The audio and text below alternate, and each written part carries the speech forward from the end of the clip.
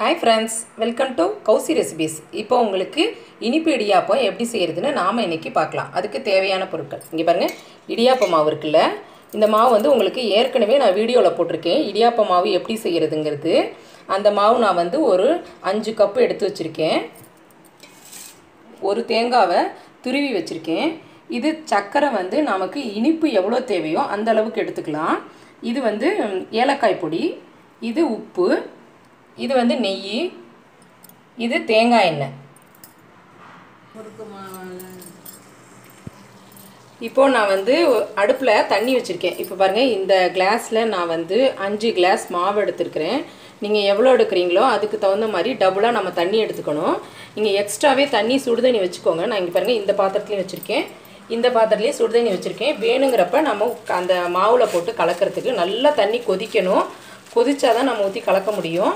இங்கே பாருங்கள் நல்லா கொதிக்குது பாருங்கள் தண்ணி. இப்போ நாம் கலக்கணும். இப்போ இந்த மாவில் வந்து நம்ம தேவையான அளவு உப்பு போட்டுக்கலாம். இதில் நல்லா உப்பு போட்டால் தான் அது டேஸ்ட்டு கொடுக்கும். நான் இங்கே பாருங்கள் கொஞ்சம் உப்பு கா போட்டிருக்கேன். நம்ம வந்து இதை நல்லா கலந்துக்கணும். பாருங்கள் இந்த மாவுலேயே நாம் கொஞ்சம் தேங்காய் எண்ணெய் ஊற்றி நல்லா கலந்துக்கணும். அப்போ தான் நமக்கு ஒட்டாமல் வரும். இடியாப்பம். நல்ல வாசனையாகவும் இருக்கும்.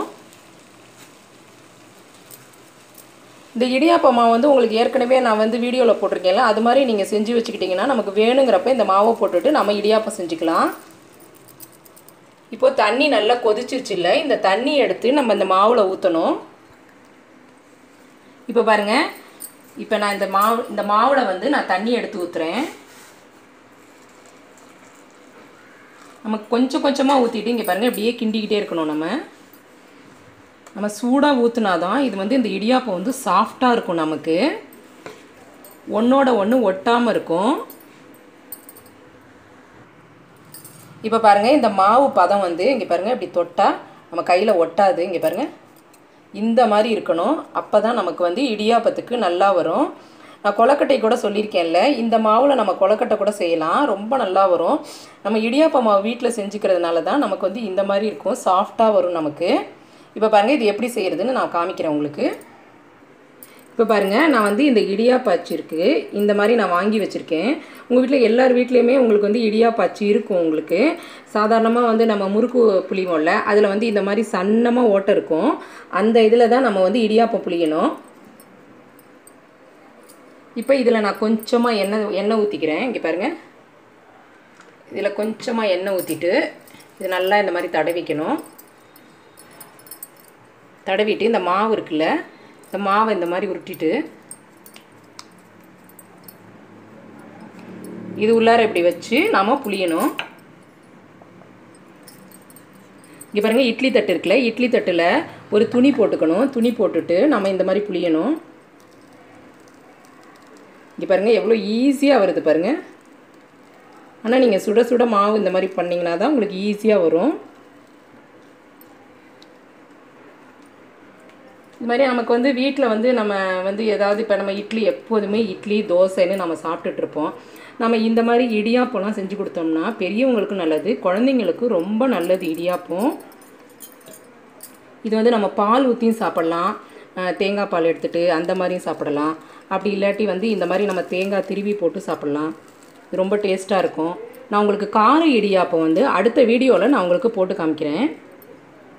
இப்போது நான் ஒரு இட்லி சட்டியில் கொஞ்சம் தண்ணி ஊற்றி வச்சுருக்கிறேன். இப்போ நம்ம அந்த இடியாப்பத்தை எடுத்து வைக்கணும். இப்போ பாருங்கள் இந்த இடியாப்பத்தை நான் வந்து இட்லி சட்டியில் வச்சு ஒரு ரொம்ப நேரம் வேக வேண்டாம். இது ஏற்கனவே வெந்த மாவுங்கிறதுனால நாம் வந்து ஒரு அஞ்சு நிமிஷம் ரொம்ப ரொம்ப வேக வேணாம். ஒரு அஞ்சு நிமிஷம் இந்த மாதிரி வேக வச்சோம்னா போதும். தண்ணி நல்லா கொதிச்சதுக்கப்புறம் நம்ம இந்த மாதிரி வச்சோம்னா அஞ்சு நிமிஷம் மூடி வச்சுட்டு அதுக்கப்புறம் நம்ம எடுக்கலாம். நம்ம அந்த தட்டு வேகிறதுக்குள்ளே நம்ம இன்னொரு தட்டு நம்ம இந்த மாதிரி பண்ணி வச்சுக்கலாம். ஈஸியாக இருக்கும் நமக்கு வேலையும் சீக்கிரம் முடியும். இது வந்து நம்ம வே அப்படியே சும்மா ஒரு இந்த குழம்பெல்லாம் வச்சு கூட மட்டன் குழம்பு இந்த மாதிரி நம்ம பாயா வச்சு கூட நம்ம சாப்பிடலாம் இது. நான் இன்றைக்கி வந்து குழந்தைங்களுக்கு சுகர் போட்டுட்டு தேங்காய் போட்டு நான் இன்றைக்கி கொடுக்கலான்ட்டு இந்த மாதிரி செஞ்சுருக்கேன் நான். இங்கே பாருங்கள் எப்படி வருது? உதிரி உதிரியாக இருக்குது.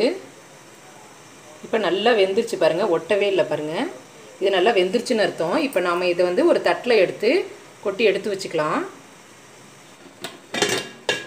இப்போ பாருங்கள் ஒரு தட்டில் நான் வந்து இதை கொட்டிடுறேன்.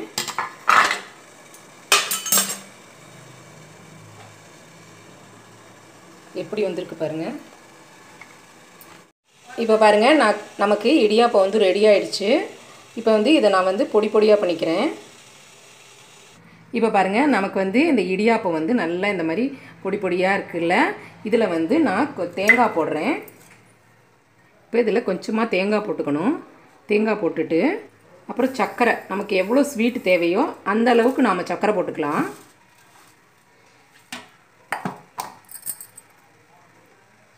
இதுலேயே கொஞ்சமாக ஏலக்காய் பொடி இருக்குல்ல ஏலக்காய் பொடியும் கொஞ்சமாக போட்டுக்கணும்.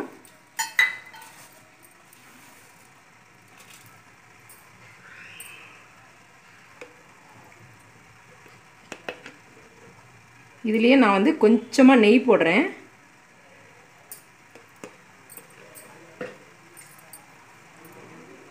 நம்ம இந்த சூட்டோட போட்டோம்னா தான் இந்த நெய் வந்து நல்லா கரைஞ்சி எல்லா இடத்துலையும் சேரும்.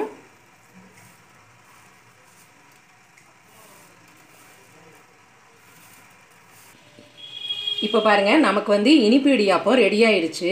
இந்த மாதிரி நீங்கள் வீட்டில் செஞ்சு பாருங்கள் குழந்தைங்களுக்கு கொடுங்க.